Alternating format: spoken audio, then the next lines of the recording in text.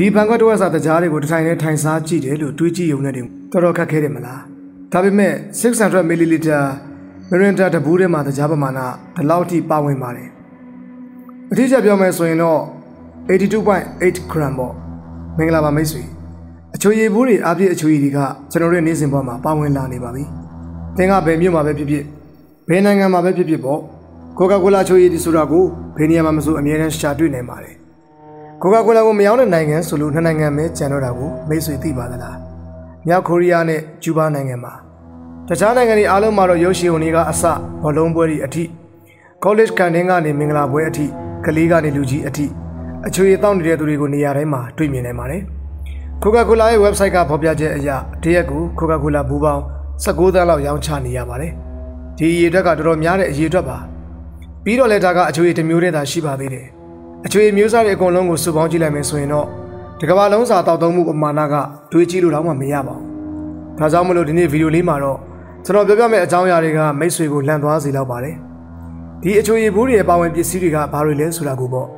ဒီအကြောင်းကိုမိတ်ဆွေသိပြီးတာနဲ့မိတ်ဆွေတငယ်ချင်းတွေမိသားစုတွေနဲ့အတူမျှဝေပေးပါဒါမှသူတို့တောက်သုံးနေတာတွေကဘာတွေလဲဆိုတာကိုသူတို့သိမှာပါဒီဗီဒီယိုကမိတ်ဆွေကိုအလိညာတွေနဲ့ခြောက်လန့်မှုမဟုတ်ပါဘူး မိတ်ဆွေတောက်သုံးနေတာဘာလဲဆိုတာကိုပဲသိစေချင်တာပါ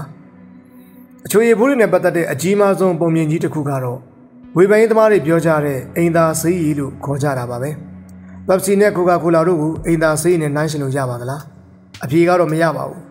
လူတွေကဒီလိုမကြာခဏနှိုင်းရှင်ပြီးတော့ပြောနေကြတာကဘာကြောင့်လဲဆိုတော့အင်သာဆေးတွေမှာပါတဲ့ acid တစ်မျိုးကြောင့်ပါပဲပြီးတော့အချွေရည်တွေမှာလည်းအလားတူ acid တစ်မျိုးပါဝင်ပါတယ်အေးဘူးတွေမှာပါဝင်တာကတော့ citric acid ပြီးတော့ phosphorus acid ပါ citric acid ကိုသဘာဝအတိုင်းရှာဖွေတွေ့ရှိနိုင်ပါတယ်တံပြိုသီးတွေကပလာသီးတွေမှာပါဝင်တဲ့ acid ကတော့ citric acid ပါအခြားတစ်ဖက်မှာတော့ phosphorus acid ကိုတော့စားသောက်ကုန်တွေထုတ်လုပ်တဲ့နေရာမှာအသုံးပြုကြပါတယ်ဒါကွန်နံပါတ် E338 လို့ခေါ်ဆိုကြပြီးတော့မှတခြားပါဝင်မှုနှုန်းများတဲ့စားသောက်ကုန်တွေမှာမိုနဲ့ဘက်ထရီးယားပေါက်ဖောက်မှုကိုကာကွယ်တဲ့အနေနဲ့ phosphorus acid ကိုအသုံးပြုကြပါတယ်။ phosphorus acid ကိုအချွေတွေမှာမကဘဲနဲ့ယူရီထုတ်ပိုးပြီးတော့မှအသားတွေ အုတ်ကြုံချောင်းတွေတန်ဘူးကော်ဖီလိုမျိုးတောက်ဆရာတွေပေါင်မပုတ်တဲ့အမုန့်တွေပရိုတိန်းတောက်ဆရာတွေပြီးတော့တကယ်တမ်းမှာ cheese တွေမှာပါအသုံးပြုကြပါတယ်။စိတ်ဝင်စားကြကောင်းတာကဒီ acid နှစ်မျိုးကအင်သာသုံးတန့်စင်ဆေးအတော်များများမှာလည်းတွေ့ရှိနေပါတယ်။တကားတလေအိမ်လုံးတန်းစင်ဆေးရည်တွေမှာတံပရာရည်ကိုဗီနီဂါရည်တွေကိုထည့်ပြီးတော့မှဆော်ရာမုန့်နဲ့ရောဆက်ကြပါတယ်ဒီလိုဆိုပေမဲ့လည်းအချိုရည်တွေကိုအိမ်သာတန့်ဆေးတွေနဲ့နှိုင်းရှင်တာကတော့မှားနေပါတယ်ကျောင်းတုံးကဓာတုဗေဒဘာသာရက်မှာသင်ခဲ့ဘူးမှာပါ အဆစ်မျိုးစားတွေထဲမှာရှိတဲ့အထက်က mild acid dilute acid ပြီးတော့ concentrated acid ဆိုပြီးတော့မှရှိကြပါတယ်သိပြီးတော့မှရှင်းပြစရာလိုမှမထင်ပါဘူးသူတို့တွေက acid အပြင်းနေပါ phosphoric acid ကတော့ acid ပြောပါအိမ်သာတန့်စင်ဆေးတွေမှာပူပြီးတော့မှအားပြင်းတဲ့ chemical တွေပါဝင်ပါတယ်။ဥပမာအားဖြင့် sodium hypochlorite နဲ့ hydrochloric acid တွေပါ။သူတို့ကိုအညစ်အကြေးအစွန်းနဲ့တန့်စင်တဲ့နေရာမှာအသုံးပြုကြပါတယ်။ hydrochloric acid ကကျွန်တော်တို့ရဲ့ဘိုက်ထဲမှာလည်းရှိပါတယ်။ ကျွန်တော်တို့ရဲ့အစာအိမ်ထဲကအစာချေထဲမှာဒီ acid ကတခုအပါဝင်ပါ။အဲ့လိုဆိုရင်တော့ကျွန်တော်တို့ရဲ့ဘိုက်တွေကိုအိမ်သာတန့်စင်ဆေးတွေနဲ့မနှိုင်းရှင်လောက်တော့ဘူးမလား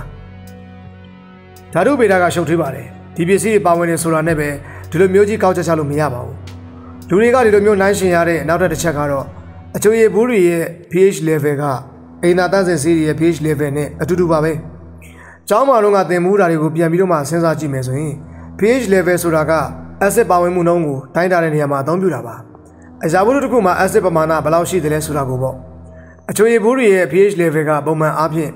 2.5ပတ်ချာလေလောက်မှာရှိပါတယ်။ဒါပေမဲ့မိတ်ဆွေသိပါသလား။တံပြိုင်မှာ acid ပမာဏဘယ်လောက်ပါတယ်လဲဆိုတာအဲ့ဒါရဲ့ pH level ကတော့2.0ကနေ2.6အထိရှိပါတယ်။တလဲသီးတွေမှာ pH level က2.9ပတ်ချာလည်းရှိပါတယ်။စပြည့်သီးတွေကလည်းထုံနည်း၎င်းပါပဲ။တကယ်လို့ဒီပုံမြင်ကိုသင်သဘောပေါက်တယ်ဆိုရင်တော့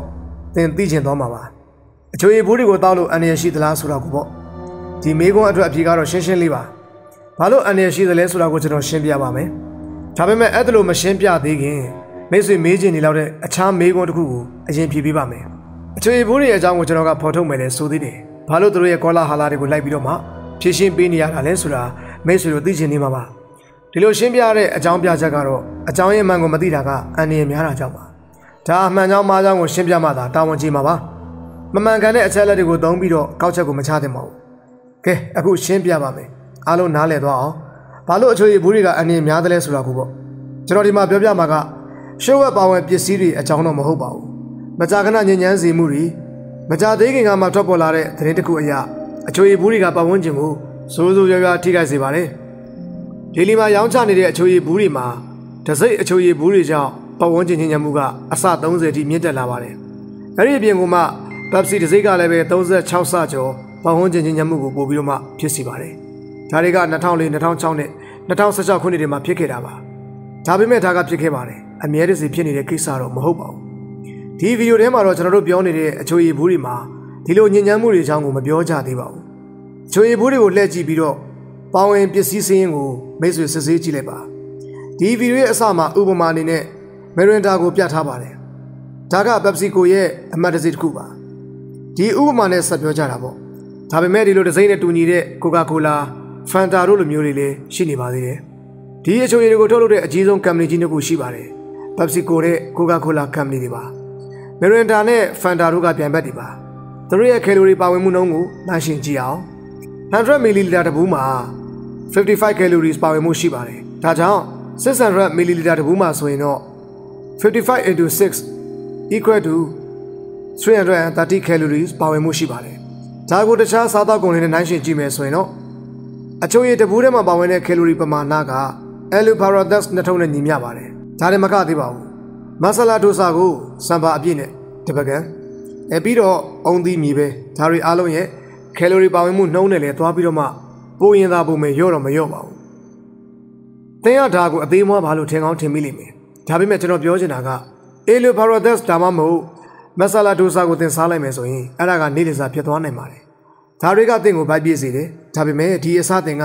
ကိုကာကိုလာဒါမှမဟုတ်မီရန်ဒါတဘူးကိုတောက်လိုက်မယ်ဆိုရင်တော့တင့်ကိုအစာပြေစေပါမလား။ဒီလို calories အပူတွေကအသုံးမဝင်ပါဘူး။ဒီပြင်ကိုနေလစာဒါမှမဟုတ်ညစာထပ်ပြီးတော့မှစားပေးရအောင်ပါပါ။ပြီးတော့လည်းပုံမှန်အစားအသောက်တွေထဲမှာလည်းအသားဓာတ်ဆိုဒီယမ်ပိုတက်ဆီယမ်ဗီတာမင်တွေအမြင့်ဓာတ်တွေအဆီတွေနဲ့ခန္ဓာကိုယ်ဓာတ်လိုအပ်တဲ့အာဟာရဓာတ်တွေအကုန်လုံးပါဝင်ပါတယ် ဒါပေမဲ့ဒီအချိုရည်ဘူးတဘူးကနေသင်ဘာတွေပြင်ရတယ်လဲအာဟာရဓာတ်မပါတဲ့အသုံးဝင်တဲ့ကယ်လိုရီတွေနဲ့တကြားတွေပါနှမ်းရှိကြည့်မယ်ဆိုရင်ဖန်ခွက်လော့ထဲမှာအလေးချိန်တူညီတဲ့တကြားပမာဏကိုပြန်ထည့်ပြပါမယ်100 ml မီရတာတဘူးမှာတကြားက30.8 gram ပါဝင်ပါတယ်73.8 gram ဒီတော့600 ml တဘူးမှာဆိုရင်တော့30 into 6 equal to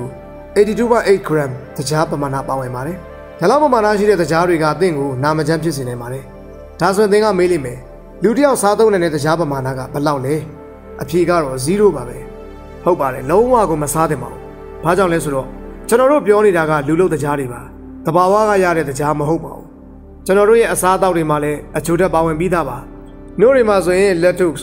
တစ်သီးတွေမှာဆိုရင် fructose ဒါတွေကသဘာဝကရတဲ့တကြားတဲ့အချိုဓာတ်တွေပါမိတ်ဆွေကနိုးတောက်တာဒါမှမဟုတ်တစ်သီးတစ်မြင့်မြင့်ကိုစားတာဆိုရင် ဒီလိုသဘာဝတကြားဓာတ်ကိုမိတ်ဆွေရရှိနိုင်ပါတယ်ဒါကလုံလောက်တဲ့စွမ်းရည်တစ်ခုပါဒီလိုသဘာဝတကြားတွေကအသိရဲ့ခန္ဓာကိုယ်လိုအပ်ချက်တွေအတွက်လုံလောက်ပါတယ်လူလို့တကြားတွေကိုတော့နေ့စဉ်စားသုံးနေတဲ့အစားအသောက်တွေထဲမှာထည့်သွင်းပြုလုပ်ကြပါတယ်အမေရိကန်နှလုံးကျန်းမာရေးအဖွဲ့အစည်းရဲ့အဆိုအရကျွန်တော်တို့ရဲ့ခန္ဓာကိုယ်တွေကလူလို့တကြားဓာတ်တွေကိုလုံးဝမလိုအပ်ပါဘူးဒါကြောင့်ကျွန်တော်တို့ရဲ့ခန္ဓာကိုယ်ကောင်းကောင်းအလုပ်လုပ်နိုင်မှုအတွက်လူလုတ်တရားတက်ကိုလုံးဝမလိုအပ်ပါဘူးဒါတော့မှမိတ်ဆွေကသိချင်နေဦးမှာပါ ကျွန်တော်တို့ရဲ့ခန္ဓာကိုယ်ကဒီတရားတွေကိုဘယ်လောက်ပမာဏအထိခန္ဓာရင်ရှိတယ်လဲဆိုတာကိုလူလုတ်တရားပမာဏဘယ်လောက်ကကျွန်တော်တို့ရဲ့ခန္ဓာကိုယ်ကိုအန္တရာယ်မဖြစ်စေဘူးလေသတ်မှတ်ထားတဲ့ပမာဏကတော့ယောက်ျားတစ်ယောက်အတွက်ဆိုရင်တစ်ရက်ကို36 gram မိန်းကလေးတစ်ယောက်အတွက်ဆိုရင်တော့25 gram ဖြစ်ပါတယ်ဒီ600 ml မီလီလီတာတဘူးမှာတော့တရားပါဝင်မှုနှုန်းက82.8 gram လောက်မှရှိပါတယ်။ဒီဟာတဘူးတဲ့တဲ့နေ့စဉ်သတ်မှတ်ချက်ပမာဏကိုကျော်လွန်သွားပါတယ်။ဒါကြောင့်မလို့ကျွန်တော်ပြောနေရတာပါ။ ဒီလောက်များပြားတဲ့တရားပမာဏကိုနေ့စဉ်သာစားသုံးနေမယ်ဆိုရင်မိတ်ဆွေချမ်းမာရေးကပြင်းပြင်းထန်ထန်ပဲဆိုးရွားလာမှာပါ။ဒါကချက်ချင်းတော့ဖြစ်လာမှာမဟုတ်ပါဘူး။ရက်ပိုင်းတော့လုံးယုံနဲ့လည်းကြီးကြီးမားမားအကျိုးသားမှုမရှိသေးပါဘူး။ဒါပေမဲ့နှစ်ပေါင်းများစွာနေ့စဉ်နေ့တိုင်းလှုပ်ဆောင်လာခဲ့ရင်တော့အဆုံးမှာဒီလိုမကောင်းတဲ့အချိုဓာတ်တွေကြောင့်အယိုးစစ်တွေကြိုက်ခဲတာတွေအရင်မတိုင်ခင်အိုမင်းလာတာတွေအသေးယောဂပြီးတော့အဆက်နှစ်စီးကျူယောဂပန်ခရိယပျက်စီးခြင်းကြောက်ကပျက်စီးခြင်းဒါတွေကိုခံစားလာရတော့မှာပါ နှလုံးသွေးကြောချင်းလာပြီးတော့နှလုံးယောဂဖြစ်နိုင်ခြင်းကလည်းများလာပြီးနောက်ဆုံးမှာတော့အဝလွန်လာတာပါဒါကိုနောက်ဆုံးမှပြောရဲဆိုတာကလူအများစုကတရားတတ်တွေအကြောင်းကိုပြောလိုက်ပြီးဆိုတာနဲ့အဝလွန်တာကိုပဲပြောကြတာမို့လို့ပါဒါပေမဲ့ကျန်တဲ့ယောဂတွေအကြောင်းကိုတော့လူသိမ့်မသိကြပါဘူးဒီယောဂတွေအားလုံးရဲ့အကြောင်းရင်းကတော့တရားတတ်ကိုအလွန်မဲစားသုံးခြင်းကြောင့်ပါတကြားတွေနဲ့ပတ်သက်ပြီးအနေအများဆုံးအကြောင်းတစ်ခုကတော့မူရည်စေဆွဲသလိုပဲကြားစားသုံးခြင်းကလည်းဆွဲလန်းစေတတ်ပါတယ်2019မှာလေးလာတွေးရှိချက်တွေအရ ကြားဆွဲလန်းမှုကခုတ်ကင်းဆွဲလန်းမှုလိုပဲပမာဏအတူတူလောက်ရှိနေပါတယ်ဒါကြောင့်မလို့သင်ရဲ့ပတ်ဝန်းကျင်မှာအချိုရည်တွေကိုပုံမှန်တောက်သုံးနေသူတွေကိုသင်မြင်တွေ့နေရမှာပါသုံးလေးလလောက်မှအချိုရည်တပူးတောက်တဲ့လူဆိုတာကတော်တော်နည်းသွားပါပြီလူတွေကတရားကိုဆွဲလန်းနေကြတာကြောင့်တရားပါဝင်တဲ့ဒီအချိုရည်တွေကိုပုံမှန်တောက်သုံးနေကြတာပါဒီအချိုရည်တွေကိုမတောက်ဖြစ်ဘူးဆိုရင်လေတရားလုံးတွေချောကလက်တွေရေခဲမုန့်တွေကိုစားသုံးကြပါတယ်တရားပါဝင်မှုနှုန်းမြင့်တဲ့အရာတွေပေါ့ တချို့နိုင်ငံတွေကဒီကိစ္စနဲ့ပတ်သက်လို့ဆွေးနွေးနေကြတာအတော်ကြာခဲ့ပါပြီဒါကြောင့်မို့လို့1964ခုနှစ်မှာ PepsiCo ကနေ Diet Pepsi ကိုထုတ်လုပ်ခဲ့ပါတယ်။အဲဒီနောက်မှာတော့1982ခုနှစ်မှာ Coca-Cola ကလည်းပဲ Diet Coke ကိုထုတ်လုပ်ခဲ့ပါတယ်။ဒီ Diet ချိုရည်နှစ်မျိုးစလုံးမှာကယ်လိုရီပမာဏကိုတရားပါဝင်မှုကိုလုံးဝမရှိပါဘူး။ဒီလိုဆိုရင်တော့သူတို့ကတောက်ဖို့အနေကင်းရလား။ဒီလို Diet တောက်စရာတွေမှာတရားအစားတို့အချိုတွေအသုံးပြုကြပါတယ်။ Aspartame, Saccharin, ဒါမှမဟုတ် Sucralose တို့လိုအရာမျိုးတွေပါ။ဒီလိုတရားအစားတို့ပစ္စည်းတွေကလည်းသူ့ရဲ့မကောင်းတဲ့ရာဇဝင်ကရှိပါသေးတယ်။ဒီအရာတွေနဲ့ပတ်သက်ပြီးတော့ကင်ဆာရောဂါဖြစ်ပွားစေတဲ့ကြောင်းလေ့လာတွေ့ရှိချက်တွေကအများကြီးလုပ်ထားကြပါတယ်။ဒါကြောင့်မို့လို့နေရာအတော်များများမှာရောင်းချခွင့်နဲ့ပြပင်ထားကြပါတယ်။ဒါပေမဲ့အခြားသောအဖွဲ့အစည်းတွေကနေလည်းလေ့လာစမ်းသပ်ချက်တွေပြုလုပ်ထားကြပါတယ်။ဒီတောက်ဆရာတွေနဲ့ကင်ဆာရောဂါကဘာမှမဆိုင်ဘူးဆိုကြောင်းပေါ့။လွန်ခဲ့တဲ့9လလောက်ကနောက်ဆုံးလုပ်ခဲ့တဲ့လေ့လာမှုမှာတော့2020မတ်လ24ရက်နေ့မှာ ပြင်သစ်နိုင်ငံကလူအယောက်3သိန်းလောက်ကိုစမ်းသပ်ခဲ့တာပါဒီတောက်ဆရာတွေကဒီလူတွေရဲ့အပေါ်ဘလို့အကျိုးသက်ရောက်စေတယ်လဲဆိုတာကိုခုနှစ်နှစ်ရှင်းနှစ်လောက်ကိုစောင့်ကြည့်ပြီးတော့မှလေ့လာခဲ့ပါတယ်။သူတို့တွေ့ရှိခဲ့တာကတော့ aspartame ကကင်ဆာကိုဖြစ်ပွားစေခဲ့တာပါ။ Center for Science in the Public Interest CSPI ရဲ့ official website ပေါ်ကိုသွားကြည့်မယ်ဆိုလို့ရှိရင်တော့ aspartame ကကင်ဆာဖြစ်ပွားစေတဲ့အကြောင်းရင်းတွေကတစ်ခုပါဆိုတာကိုသင်သိလာမှာပါ။တခြားသောလေ့လာမှုတွေမှာဆိုရင်တော့ဒီအရာတွေကြောင့် နှလုံးရောဂါလေဖြတ်တာစီးကျိုရောဂါကြောက်ကနဲ့အသေးပျက်စီးတာစိတ်ချမ်းသာရေးပြဿနာတွေနဲ့ကလေးမွေးဖွားနိုင်မှုကိုပါထိခိုက်စေနေတာကိုတွေ့ရှိထားကြပါတယ်။ဒီလိုဆိုရင်တော့မှဒီစမ်းသပ်ချက်တွေအားလုံးကမှန်နိုင်တယ်လို့မဆိုနိုင်ပါဘူး။ဒီလိုမျိုးယူဆကြည့်ကြရအောင်။စမ်းသပ်ချက်တွေရဲ့သူတို့ဥတီရှာဖွေတဲ့အပိုင်းလောက်ကပဲမှန်ကန်ပြီးတော့ကျန်တာတွေကတော့မှားယွင်းနေနိုင်ပါတယ်။ဒါကိုဘေးကနာချိန်ထားလိုက်ပြီးတော့ကျန်တဲ့ပါဝင်ပစ္စည်းတွေကိုလည်းဆက်လက်စစ်ဆေးကြည့်လိုက်ရအောင်။ဒါကအစပဲရှိပါသေးတယ်။ သူတို့ထဲမှာပါဝင်တဲ့ပစ္စည်းတွေကိုတစ်ခုချင်းစီကိုဖော်ပြပေးပါမယ်။သူတို့ထဲမှာပါတဲ့နောက်ထပ်အန်ဒီရရှိပစ္စည်းတစ်မျိုးကတော့ကာရာမဲလ်ပါပက်ပစီနဲ့ကိုကာကိုလာတို့ရဲ့အယောင်ညွညညစ်ဖြစ်နေစေတဲ့ပစ္စည်းပါ2012မှာဒါနဲ့ပတ်သက်ပြီးတော့မှသတင်းဆောင်ပေါင်းများစွာကိုတွေ့ဘူးမှာပါကာရာမဲလ်ကလည်းကင်ဆာရောဂါကိုဖြစ်စေနိုင်တယ်ဆိုတာကိုပေါ့ကာရာမဲလ်ဆိုတာဘာလဲပြောရရင်တော့တကြားကိုအတူးကြူထားတာပါရှူဂါကိုအမိုးနီးယားနဲ့ဆာလ်ဖိုက်တွေနဲ့ပေါင်းပြီးတော့မှအပူပေးလိုက်ပါတယ် ဒီလိုလုပ်လိုက်တာကဘေးထွက်ပစ္စည်း 4MI 4 methyl limidazole ဆိုတာကိုဖြစ်ပေါ်စေပါတယ်ဒီပစ္စည်းကကင်ဆာဖြစ်စေတာဖြစ်တယ်လို့စမ်းသပ်မှုများစွာကနေတွေ့ရပါတယ်။ပြီးတော့လည်းကယ်လီဖိုးနီးယားပြည်နယ်မှာဒီပစ္စည်းကိုကာစီနိုဂျန်ကင်ဆာရောဂါဖြစ်စေတဲ့အရာအဖြစ်သတ်မှတ်ထားကြပါတယ်။ပြည်နယ်ရဲ့ဥပဒေအရဘလို့အစားအသောက်မျိုးမှမဆိုကာစီနိုဂျန်29 microgram step ပို့ပြီးတော့မှပါဝင်ထားလို့ရှိရင်တရားမဝင်ပါဘူး။ဒါပေမဲ့အဲ့ဒီပမာဏတက်နေရင်တော့ခွင့်ပြုပေးထားပါတယ်။ 2012ရဲ့သတင်းဆောင်ပါးတွေအရအချို့ရနမူနာတွေကိုစမ်းသပ်စစ်ဆေးကြည့်တဲ့အခါမှာဒီပစ္စည်းကို138 microgram အထိတွေ့ရှိကြရပါတယ်။ဒါကသတ်မှတ်ထားတဲ့ပမာဏထက်၄ဆတောင်မှပိုပြီးတော့မှများနေတာပါ။ဒီလိုအဖြစ်အပျက်တွေဖြစ်ပြီးတဲ့အခါမှာတော့ Coca-Cola ကသူတို့ရဲ့ထုတ်လုပ်မှု formula ကိုပြောင်းလဲပလိုက်ပြီးတော့မှ 4MI ပါဝင်မှုနည်းပါးတဲ့ formula အသစ်နဲ့ပြောင်းလဲထုတ်လုပ်ပါမယ်လို့ပြောခဲ့ပါတယ်။ဒါပေမဲ့ဒီလိုပြောင်းလဲမှုမျိုးကိုအမေရိကမှာပဲပြုလုပ်ခဲ့တာပါ။အိန္ဒိယနိုင်ငံနဲ့တခြား ဖွံ့ဖြိုးဆဲနိုင်ငံငယ်လေးတွေမှာတော့ဒီလိုမျိုးစင်တူသတ်မှတ်ချက်ဥပဒေတွေပြဋ္ဌာန်းခဲ့ပါတယ်2014ခုနှစ်မှာလည်းအလားတူသတင်းတစ်ပုဒ်ကိုထပ်မံတွေ့ရှိခဲ့ရတယ်။အဖွဲ့အစည်းတစ်ခုကအချိုရည်အတော်များများကိုထပ်မံစစ်ဆေးကြည့်တဲ့အခါမှာတော့ထပ်ပြီးတော့ဒီအချိုရည်တွေမှာဖိုးအမိုင်ပါဝင်မှုကသတ်မှတ်ထားတဲ့နှုံးထားတဲ့ကျော်လွန်နေပါသေးတယ်။နောက်ပြီးတော့ကျွန်တော်တခုပြောပြရရင်အကယ်၍အစားအသောက်တစ်ခုကသူ့ရဲ့ခန္ဓာရည်ထက်ပိုပြီးတော့မှကျော်လွန်ပြီးဒူးသွားမယ်ဆိုရင်မိတ်ဆွေချမ်းမကြီးအတွက်စားဖို့မသင့်တော့ပါဘူး။ တကယ်လို့ပေါင်မဖုတ်ဆက်ထဲကနေသင်ရဲ့ပေါင်မကမဲသွားတဲ့အထိဒူးသွားပြီဆိုရင်ဒါကိုသင်မစားသင့်တော့ပါဘူး။ဒါမှမဟုတ်ဟင်းရွက်ကြော်ကအရန်တူးသွားပြီးတော့အမဲရောင်အကွက်လေးတွေမြင်တွေ့နေရပြီဆိုရင်လည်းအဲ့ဒါကိုမစားပါနဲ့တော့ဒီလိုတူးနေတဲ့အရာတွေထဲမှာများစွာသော acrylamide ပမာဏကပါဝင်နေပြီမို့လို့ပါကမ္ဘာ့ကျန်းမာရေးအဖွဲ့အစည်းရဲ့ပြောကြားချက်အရ acrylamide ဆိုတာကတော့လူတွေကိုကင်ဆာဖြစ်စေတဲ့ဓာတ်ပစ္စည်းဖြစ်ပါတယ်ဒီပစ္စည်းကနေပြီးတော့မှကင်ဆာဖြစ်နိုင်ခြင်းအရန်များပါတယ်ဒီအချိုရကိစ္စမှာလည်းထုံနည်းလည်းကောင်းပါပဲ ။တကြားတွေကိုခန္ဓာရည်ထက်ကျော်လွန်ပြီးတော့ဒူးအောင်ချိုလိုက်တဲ့အခါမှာကာရာမဲလ်ဆိုတဲ့အချိုတစ်မျိုးကိုရရှိပါတယ်။ဒါကလည်းကင်ဆာဖြစ်စေနိုင်တဲ့အကြောင်းအရာတစ်ခုပေါ့။မရီနာနဲ့ဖန်တာတို့ကိုတောက်တဲ့လူတွေကတော့ထင်ကောင်းထင်နိုင်တယ်။ဒါသူတို့အတွက်သတင်းကောင်းဖြစ်ပြီးတော့သူတို့ကအနေကင်းတယ်ပေါ့။သူတို့တောက်နေတဲ့အချိုရည်တွေကအမင်းရောင်မှမဟုတ်တာ။နောက်ထပ်ပြောမယ့်လူတွေကတော့ဒီလိုလူတွေအတွက်ပါ။ဘာလို့ဒီညမှာမပြီးသေးရတာလဲ။မရီနာနဲ့ဖန်တာလိုတောက်စရာမျိုးတွေမှာလေမော်ရောင်ကဘယ်ကနေဖြစ်လာတာလဲဆိုတော့ အယောင်ဆိုးစွေးတွေအသုံးပြုထားတာကြောင့်ပါသူ့ရဲ့အယောင်ကုတ်ကိုတော့ E11O လို့ခေါ်ပါတယ်သူ့ကိုတခြားနာမည် Sunset Yellow FCF လို့လည်းခေါ်ကြပါတယ်သူ့ရဲ့ဓာတုနာမည်ကို Disodium 2-hydroxy1 Fall sulfonato phenylizo naphthalene 6 sulfonate လို့ခေါ်ပါတယ်စိတ်မပူပါနဲ့သင်ကိုခေါင်းဆောင်မလုပ်ပါဘူးဒီအရာကို azodine လို့ခေါ်တဲ့ရေနံကနေတဆင့်ထုတ်ထားတာပါဒါပေမဲ့ဒီအရာကတော့သင်ရဲ့အသက်အတွက်အရင်အရေးကြီးပါတယ် 1983ခုနှစ်မှာဇေဝပညာရှင်ဘန်ဂျမင်ဖရင်ဂိုးဆိုသူကအစားအသောက်တွေမှာအရသာအစားတို့သုံးဆွဲတဲ့ပစ္စည်းကကလေးငယ်တွေကိုအလွန်မင်းစိတ်သက်တက်ကြွစေမှုကိုဖြစ်ပေါ်စေကြောင်းတွေ့ရှိခဲ့ပါတယ်။အဲ့ဒါအပြင်ကလေးတွေရဲ့အလေးပေးခံလိုမှုစိတ်ကိုလည်းထိခိုက်စေကြောင်းကိုတွေ့ခဲ့ရတယ်။ဒါကြောင့်မလို့လွန်ခဲ့တဲ့22နှစ်2000ခုနှစ်မှာတော့နော်ဝေးဖင်လန်နဲ့ဆွေဒင်လိုနိုင်ငံမျိုးကဒီဆန်းဆက်ရဲလို FCF ကိုပိတ်ပင်ခဲ့ပါတယ်။ဒါပေမဲ့လည်းတခြားသောနိုင်ငံတွေကတိတ်ပြီးတက်တက်ကြွကြွမရှိခဲ့တာကြောင့် ဒီကိစ္စနဲ့ပတ်သက်ပြီးတော့မှရှေ့ဆက်မတိုးနိုင်ခဲ့ပါဘူး။2000ခုမှာတော့ Southampton တက္ကသိုလ်ကလိလာမှုတစ်ခုကိုထုတ်ပြန်ခဲ့ပါတယ်။သူတို့တွေ့ခဲ့တာကတော့ E11O ကကလေးငယ်တွေအာယုံစူးစိုက်ခံလိုမှုကိုညှော်နှဲစေပါတယ်။တက်ကြွမှုညှော်နှဲခြင်းယောဂကိုကလေးတွေမှာအများဆုံးတွေ့ရှိရတယ်။ဒီလိုလေးလာစမ်းသပ်ချက်အပြီးမှာတော့ UK နိုင်ငံကအစားအသောက်ကုတ်ကရေးအဖွဲ့အစည်းက2008ခုနှစ်မှာဒီကိစ္စနဲ့ပတ်သက်လို့အရေးပေးလှုံ့ဆော်လာခဲ့ပါတယ်။သူတို့ကအစားအသောက်တွေမှာအရသာအစားတို့ပစ္စည်းတွေကိုဖယ်ရှားတဲ့တယ်လို့အစိုးရကအကြံပြုခဲ့တယ်။ သူတို့ကဒီလိုအကြံပြုချက်ကို European Union အထိကျယ်ပြန့်သွားစေဖို့ကြိုးပမ်းခဲ့ပါတယ်။2010မှာတော့ဒီ European Union ကဒီအကြံပြုချက်ကိုလက်ခံပြီးတော့ဥပဒေသတ်မှတ်ခဲ့ပါတယ်။ဒီလိုအယောင်အစားတို့စားသောက်ကုန်တွေကိုကမ္ပဏီတွေကမယောင်းချခင်မှာကြိုတင်သတိပေးတဲ့စိတ်ကပ်ဖို့စီမံချမှတ်ခဲ့ပါတယ်။ဒီနောက်ပိုင်းမှာတော့ကမ္ပဏီအတော်များများကဒီပစ္စည်းကိုအသုံးမပြုကြတော့ပါဘူး။ဒါပေမဲ့ဒါကလည်းဥရောပနိုင်ငံများမှာပဲကျင့်သုံးခဲ့ကြပါတယ်။ဒါတော့မှစီကံအလွန်တင်းကျပ်ထားတာကြောင့်ပါ။နောက်တစ်ခါထပ်ပြီးတော့ဒီလိုစီကံမျိုးတွေမရှိတဲ့နိုင်ငံတွေမှာတော့ ကမ္ပဏီတွေကစီကံတွေကိုဆက်လက်ဖောက်ပြနေစေပါ။ပြီးတော့လည်းတူညီတဲ့ပေါင်းပစ္စည်းတွေကိုပဲဆက်လက်သုံးစွဲနေခဲ့ပါတယ်။အိန္ဒိယနိုင်ငံမှာမရင်ဒါအချိုရည်ဘူးကိုကြည့်လိုက်မယ်ဆိုရင်ဒီလိုရေးသားထားမှုကိုတွေ့မြင်ရမှာပါ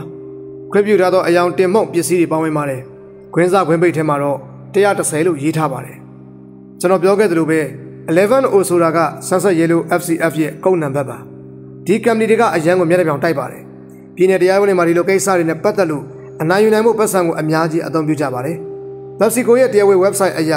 အမေရိကမှာတရားရေးကိစ္စတွေနဲ့ပတ်သက်ပြီးတော့အနိုင်ရနိုင်မှုအတွက်ကိုဒေါ်လာ36သန်းလောက်ကိုအသုံးပြုခဲ့ကြတယ်။ကျွန်တော်အမြင်ကပြောရရင်တော့ဒါဟာတရားစီရင်မှုခြစားချက်ပါပဲ။အမေရိကန်လိုနိုင်ငံမျိုးမှာနိုင်ငံရေးပါတီတွေကိုတရားဝင်ငွေပေးခွင့်ရှိပါတယ်။ဒါကြောင့်နိုင်ငံရေးပါတီတွေကတရားမျှတမှုထက်သူတို့စိတ်ကြိုက်ချဲလေကြတာပါ။ဒီကမ္ပဏီတွေကသူတို့ရဲ့အကျိုးအမြတ်လောက်ကိုပဲစိတ်ဝင်စားကြပါတယ်။လူတွေရဲ့ချမ်းသာရေးကိုဂရုမစိုက်ကြပါဘူး။ချမ်းသာရေးစီမင်းတွေမရှိတဲ့နိုင်ငံတွေမှာတော့ သူတို့ကကန်ဆာဖြစ်စေတဲ့ဈေးပေါ်တဲ့ထုတ်ကုန်တွေရောင်းချနေစေဖြစ်ပြီးတော့ဘယ်သူကမှလည်းအရေးယူခြင်းမရှိပါဘူး။2022မှာတော့မှအိန္ဒိယနိုင်ငံမှာ E11O နဲ့ပတ်သက်ပြီးတော့မှသတ်မှတ်ချက်တွေမရှိသေးပါဘူး။ဒီအရာကိုအသင်္စာစားတောက်ကုန်များစွာမှာတွေ့ရှိနိုင်ပါတယ်။နောက်ထပ်ပါဝင်ပစ္စည်းတစ်ခုကတော့ကြာရှည်ခံအောင်သုံးတဲ့ E211 ပါ။ဒါကအစားအစာတွေကိုကြာရှည်ခံအောင်သုံးတဲ့ sodium benzoate ရဲ့အကုတ်နာမည်ပါပဲ။2005မှာ American FDA ကကိုယ်ပိုင်စမ်းသပ်ကန်တစ်ခုမှာစစ်ဆေးမှုတချို့ကိုပြုလုပ်ခဲ့ပါတယ်။ သူတို့တွေ့ရှိခဲ့တာကတော့အချွေဘူးတွေထဲမှာဘန်ဇင်းပါဝင်ခဲ့ပါတယ်။ဗန်ဇင်းဆိုတာကမော်တော်ယာဉ်ရဲ့အိတ်ဇောဘိုက်ကထွက်တဲ့ဓာတ်ငွေတစ်မျိုးပါ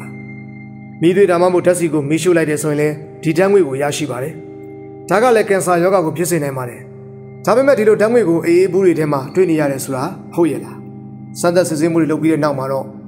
ဘန်ဆိုရိတ်စားကိုကြာရှည်ခံပစ္စည်းဆိုဒီယမ်ဘန်ဆိုရိတ်အနေနဲ့တွေ့ရှိခဲ့ရပါတယ်။ဒါကို ascorbic acid, vitamin C နဲ့ W စေတဲ့အခါမှာတော့ ဘန်ဇင်းဆိုပြီးတော့မှဖြစ်ပေါ်လာခဲ့တာပါ။ဒီလိုဓာတ်ပြမှုဖြစ်စေဖို့အတွက်တာမန်အပူနဲ့အလင်းရောင်ပဲလိုပါတယ်ဒီလိုအချိုရည်ဘူးတွေကိုနေရောင်နဲ့ထိတွေ့စေလိုက်တဲ့အခါမှာဒီဓာတ်ပြမှုကဖြစ်ပေါ်လာခဲ့ပါတယ်ဒီအကြောင်းအရာက2000ခွန်မှာထွက်ပေါ်လာခဲ့ပြီးတော့မှ Pepsico နဲ့ Coca-Cola တို့ကိုတရားစွဲဆိုခဲ့ပါတယ်နောက်တစ်နှစ်2008အရောက်မှာတော့ Coca-Cola ကဆိုဒီယမ်ဘန်ဆိုရိတ်ကိုသူတို့ရဲ့ထုတ်ကုန်တွေကဖယ်ရှားပေးခဲ့ပါတယ်သူတို့ထုတ်လုပ်နေတဲ့အချိုရည်ဘူးတွေထဲမှာဒါကိုထည့်သွင်းအသုံးပြုခြင်းမရှိတော့ပါဘူး မိတ်ဆွေကဒါကိုကောင်းသောပြောင်းလဲမှုလို့ထင်ပါသလားဒါပေမဲ့ကျွန်တော်ပြောခဲ့သလိုပဲတရားစွဲဆိုကြတဲ့နိုင်ငံတွေမှာကမ္ဘာကြီးကပဲထိန်းချုပ်သွားခဲ့ကြပါတယ်။အိန္ဒိယနိုင်ငံမှာတော့ဒီပစ္စည်းက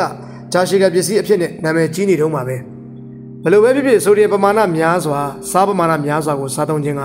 စိတ်လှုပ်ရှားမှုပြင်းထန်စေတဲ့ယောဂါကိုဖြစ်စေတတ်ပါတယ်။ဒါကြောင့်မို့လို့အသင်စားအစားအသောက်တွေကအလွန်မင်းစိတ်လှုပ်ရှားခြင်းနဲ့ဆက်ဆက်နေကြတာပါ။နောက်ထပ်ပါဝင်ပစ္စည်းကတော့ phosphoric acid ပါ။ ဒီဗီရဲ့အစမှာဒီအကြောင်းကိုကျွန်တော်ပြောပြခဲ့မှုပါတယ်။တချို့သောအေးဘူးတွေမှာ phosphoric acid ပါဝင်ပါတယ်။ငုံတဲ့ဘက်တီးရီးယားတွေပေါက်ဖွားနိုင်မှုကိုကာကွယ်တဲ့အနေနဲ့ပေါ့။ဒါကဆိုးရလာတဲ့အရာတော့မဟုတ်ပါဘူး။ဘာကြောင့်လဲဆိုတော့တဘာဝနှုတ်မာတောင်မှဒါကိုရှာတွေ့နိုင်ပါတယ်။ဒါပေမဲ့ phosphoric acid ရဲ့မကောင်းတဲ့အချက်ကတော့သူ့ကိုပမာဏများများတောက်သုံးလိုက်မယ်ဆိုရင်သင်ရဲ့သွားတွေကိုထိခိုက်စေပါတယ်။ဂရင်းပျက်စီးမှုကိုဖြစ်ပေါ်စေနိုင်ပါတယ်။ဒါကြောင့်မလို့ကလေးတွေကိုတားဆီးကြတာပါ။အချွေတွေတောက်ရင်သွားပိုးစားလိမ့်မယ်ဆိုပြီးတော့ပေါ့။ နောက်ဆုံးမှာတော့အချွေထဲမှာပါတဲ့ကာဗွန်ဖောက်ထားတဲ့ရေ carbonate water ပါပဲ။ကာဗွန်ဒိုင်အောက်ဆိုက်နဲ့ရေကိုပေါင်းစပ်ထားတာပါ။ဒါကြောင့်အချွေတွေကိုတောက်လိုက်ရင်စူးစူးလေးဖြစ်နေတာပါ။ဒီလိုကာဗွန်ဒိုင်အောက်ဆိုက်နဲ့ပေါင်းစပ်ထားတဲ့အရည်တွေကိုဆိုတာလို့ခေါ်ပါတယ်။ဒါကြောင့်မလို့အခြေခံအားဖြင့်တော့အချွေတွေအားလုံးကအချွတ်တက်လွန်ခဲနေတဲ့ဆူတာတွေပါ။ဘာကြောင့်လဲဆိုတော့တခြားပါဝင်ပစ္စည်းတွေအားလုံးကိုလစ်လူရှုထားရင်တော့မှအဓိကပါဝင်ပစ္စည်းကတော့ရေပါပဲ။အတိအကျပြောရရင်တော့ကာဗွန်နိတ်ဝါတာပါ။ ဓာတ်ငွေ့တွေနဲ့တကြားတွေပါဝင်တဲ့ရေဒါကမှအချွေတွေရဲ့တရုပ်ပုံအစစ်မှန်ပါ။နောက်တစ်ခါမိတ်ဆွေအိမ်ကိုဧည့်သည်အလဲလာရင်ဒီအချွေတွေနဲ့အခက်မယ်ဆိုရင်တော့ဒီလိုသာတင်မေးလိုက်ပါ။ကာဗွန်ဒိုင်အောက်ဆိုက်နဲ့တကြားတွေအများကြီးပါတဲ့ရေကိုတောက်ချင်ပါသလား။အဲ့ဒီအပြင်ကမှအယောင်အစားတို့အမှုန့်တွေနဲ့ဥပမာခရမဲလိုအညူရောင်ပြောင်းစေတာမျိုးနဲ့ဆိုဒီယမ်ဘန်ဆိုရိတ်လိုဂျာရှိကပစ္စည်းတွေဆိုဒီယမ်စစ်ထရိတ်လိုအက်ဆစ်ထိန်းကြီးပေးတာတွေ starch sodium oxidized succinate လိုဓာတ်ပစ္စည်းတွေပါတဲ့ရေမျိုးကိုပေါ့ဒီလိုရေတွေကိုပုံမှန်သာတောက်သုံးမယ်ဆိုရင်အဝါလွန်ယောဂစီဂျိုယောဂအယိုးပွားယောဂသဖုံးပျက်စီးခြင်းစိတ်ခဏမငြိမ်ခြင်းနဲ့တခြားသောယောဂမျိုးတွေကိုတေချာပေါက်ခံစားရမှာပါမင်းတာဘာအတိတ်ပဲလေအချိုးရည်တွေကိုပြောတာပါမိတ်ဆွေသေးချာစဉ်းစားကြည့်ပါဒီလိုအကြောင်းအရာတွေကိုသိပြီးတဲ့နောက်မှာတော့ဒါကိုဘယ်သူကတောက်ချင်တော့မှာလဲ2014မှာကိုကာကိုလာပက်ပစီကိုနဲ့တခြားသောအစားအသောက်ကုမ္ပဏီကြီးတွေကဥပမာ McDonald's နဲ့ Kellogg's လိုကုမ္ပဏီကြီးတွေကပြောကြားခဲ့ပါတယ်အသက်12နှစ်ထက်ငယ်တဲ့ကလေးငယ်တွေကိုသူတို့ရဲ့ထုတ်ကိုတွေကိုကြီးညာခြင်းမပြုပါဘူးလို့ပြောကြားခဲ့ပါတယ်ဒါပေမဲ့ဒီနေ့ခေတ်မှာတွေ့ဝပြီးတော့မှကြီးညာခြင်းလုပ်နေကြတာကိုတွေ့မြင်နိုင်ပါတယ်ခရက်ကပြိုင်ပွဲတွေနဲ့ညံစမ်းမေးခွန်းအစီအစဉ်တွေကိုကျောင်းနေမှာပဲကျင်းပကြတာပါဒါတွေကိုကူညီထောက်ပံ့ပေးထားတာကတော့ကိုကာကိုလာပါကိုကာကိုလာကြော်ညာတွေမှာကလေးငယ်တွေကိုတွေ့ရှိနိုင်ပါတယ်ဒီတော့သူတို့ကကလေးငယ်တွေကိုကြီးညာမှုမလုပ်ရင်တော့မှသူတို့ရဲ့ marketing ဆင်းမှုတွေမှာတော့ကလေးငယ်တွေကပါဝင်နေသေးပါ နာမည်ကြီးအတော်များများကဒီအကြောင်းနဲ့ပတ်သက်လို့စတင်ပြောဆိုလာခဲ့ကြပါတယ်ဥပမာ Virat Kohli လိုသူကဒီအကြောင်းကိုပြောခဲ့တုန်းကဆိုရင်မက်ဆီကိုနဲ့ချုပ်ဆိုထားခဲ့တဲ့သူ့ရဲ့စာချုပ်ကိုဆက်လက်ချုပ်ဆိုခြင်းမပြုခဲ့ပါဘူးဒါကဘာကြောင့်လဲဆိုတော့သူကိုယ်တိုင်တော့တကယ်မစားသုံးတဲ့အရာတစ်ခုကိုသူကမကြေညာချင်တာကြောင့်ဖြစ်ပါတယ်2014မှာတော့အမီတာဘတ်ချန်ကပြောခဲ့တာပါသူကပက်ပစီအတွက်ကြော်ညာတွေရိုက်ကူးပေးနေမှုကိုရန်နာခဲ့ပြီးတော့ပွဲတော်မှာမိန်းကလေးငယ်တယောက်ကဒီအကြောင်းကိုမေးမြန်းလာတဲ့အခါမှာ ကျောင်းဆရာဆရာမတွေကအစိတ်လိုသင်ကြားပေးနေတဲ့အရာတခုကိုသူကဘာကြောင့်ကြော်ညာပေးရမှာလဲလို့ပြန်ပြေခဲ့တယ်ဒါပေမဲ့ဒီကမ္ပဏီတွေအတွက်ကြော်ညာပေးနေတဲ့နာမည်ကြီးမင်းသားမင်းသမီးတွေအားကစားသမားတွေအများကြီးရှိနေပါသေးတယ်ဒီဗီဒီယိုကနေတဆင့်ကျွန်တော်တို့ကိုသိစေချင်တာကဒီလိုလောက်ရက်တွေကနေရက်တန့်စေချင်တာပါအခုအထူးအကြောင်းအရာကိုပြန်သွားလိုက်ကြရအောင်မင်းဆွေကအခုလောက်ဆိုရင်ဖြည့်ရှင်းချက်ကိုစောင့်နေတာနေမှာပါအရင်တုန်းကလိုပဲကျွန်တော်ကလည်းဖြည့်ရှင်းချက်တချို့ကိုပေးဖို့ရှိပါတယ်တခြားဆွဲလမ်းမှုကိုရက်တန့်ပြဖို့ဆိုတာကလွယ်ကူတဲ့ကိစ္စတော့မဟုတ်ပါဘူး ဒီအချိုရည်တွေကို3လလမှတစ်ခါတောက်မယ်လို့တင့်ကိုယ်တင်ပြောထားလဲပဲတိတ်မကြခင်မှာပဲ3လလကနေတလနှစ်လတစ်ခါဆိုသလိုပြီးတော့အဲ့ဒါကိုထပ်ပြီးတော့လေတပတ်နှစ်ပတ်တစ်ခါနောက်ဆုံးမှာတော့အချိုရည်တွေကိုပုံမှန်စားသုံးပြသွားတာပါပဲတကြားဆွဲလန်းနေမှုကိုတွန်းလှန်ပြဖို့ဆိုတာကအရန်ကိုမှခက်ခဲပါတယ်ဒါပေမဲ့တကြားဆွဲလန်းနေမှုကိုဖျက်တော့ပြစ်ချင်နေဆိုရင်တော့လက်ဆက်သောတတိဖြိုရည်တွေနဲ့တံပြာရည်တွေကိုတောက်သုံးနိုင်ပါတယ်ဒါပေမဲ့ဒါကလည်းအမှန်ကြီးတော့မဟုတ်သေးပါဘူး ဒီလိုတဘာဝတတိဖြိုရည်တွေနဲ့တံပြာရည်တွေမှာဓာတ်ရုပ်ပစ္စည်းတွေမပါဘူးဆိုတာကအမှန်ပါ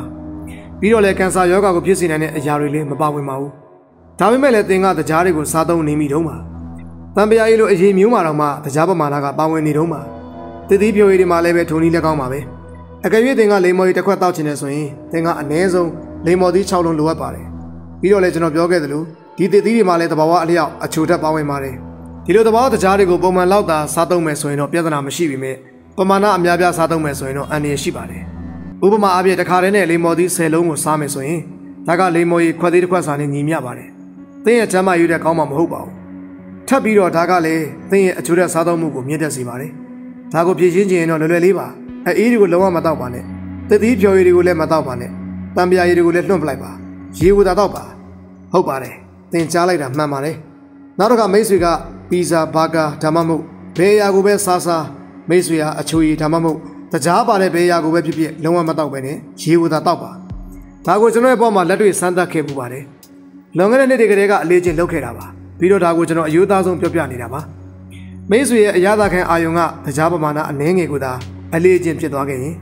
နောက်ပိုင်းကျရင်မိတ်ဆွေကတကြားကိုတော့လုံးဝမကြိုက်တော့ပါဘူးဒါကအချင်းအတော်အတန်ကြာနိုင်ပါတယ်